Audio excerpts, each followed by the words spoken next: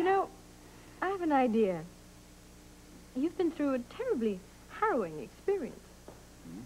So have you. Well, exactly. So, my idea is that we take this lovely bottle of champagne up to the source. Oh, what a great idea.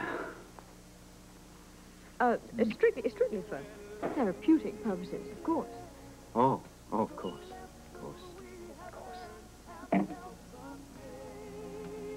Uh, Robert, Isn't this the sauna? not yet. Do we care? Not me.